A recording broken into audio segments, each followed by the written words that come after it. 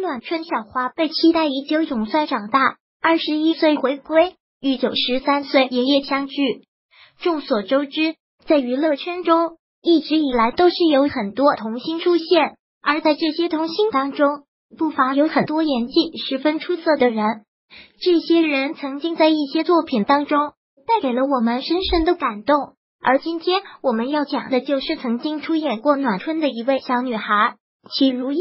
齐如意出演这部戏的时候仅仅只有六岁，而在一次机缘巧合之下，他有幸能够进入到暖春这样的一个剧组当中出演。作为一个还小小的孩子，他需要感情上极大的投入，确实是相当的不容易的。而当时父母们为了他能够饰演好小女孩这个角色。因此骗他说家里破产了，由此这使得他非常的伤心。也因为这样，他在剧中的伤心表现才显得那么的真实，因为那完全是他的本色出演。不过不管如此，最后齐如意也凭借着这个角色而红火了起来。然而在这个时候，他却并没有选择留在了娱乐圈，而是选择回归校园，努力的提升自己的知识。再回到他想要发展的演艺平台，到了现在，已经二十一岁的齐如意终于凯旋归来了。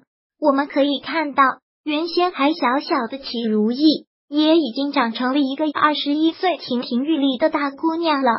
不少人在看到她的时候，也会不禁的表示，她现在的样子其实是完全拥有当明星的潜力的。再加上本身齐如意的演技就相当的出色。因此，相信她在之后一定会有更好的表现。而值得一提的是，就在不久之前，齐如意和曾经和他合作过的田成仁老师也终于再一次的相聚了。田成仁老师今年也已经有了九十三岁的高龄了。然而好在，即使年岁大了，但是他的身子还是很好的，这让不少的粉丝们都放下心来。